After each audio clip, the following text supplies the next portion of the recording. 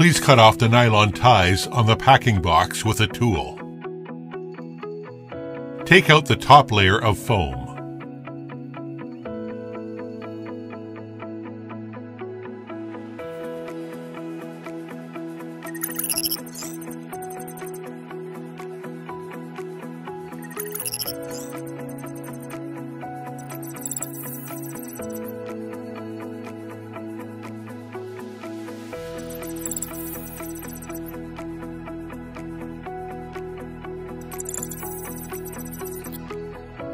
The type of AC charging cable that is pluggable or embedded varies according to local laws and regulations. Please refer to the actual product.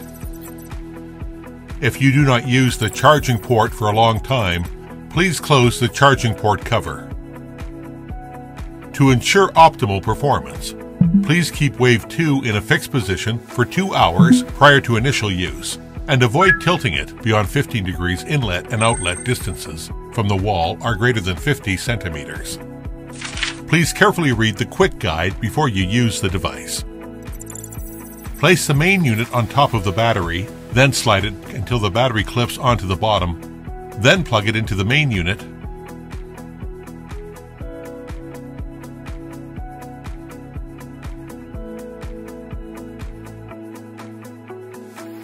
Short press the power button.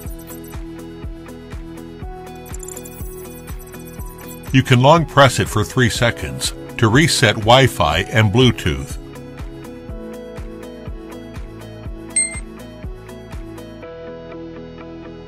Long press mode selection. You can switch real-time ambient temperature or the real-time air outlet temperature. To adjust the temperature on your unit, press and hold the temperature button to choose between Celsius and Fahrenheit. Press and hold to turn on the external circulation drainage of the water tank. Scan the QR code and download the EcoFlow app. Open the app. Search and connect your Wave 2. Tap different buttons. Select different functions and set the details.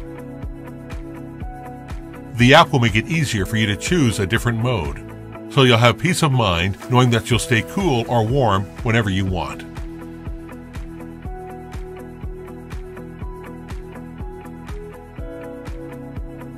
When you use the Wave 2 outdoors, simply install the air outlet duct, extend the duct into the tent, and you are ready to go.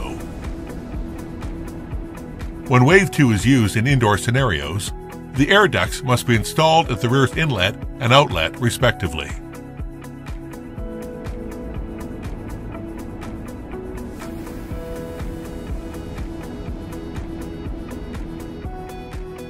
In the external circulation drainage mode, connect the stop it to a drainage pipe. The water can be drained up to 1 meter away from the interior. When heating or ambient humidity is high, you can choose to drain by external circulation. Please drain the remaining water from the unit manually if you do not use the Wave 2 for a long period.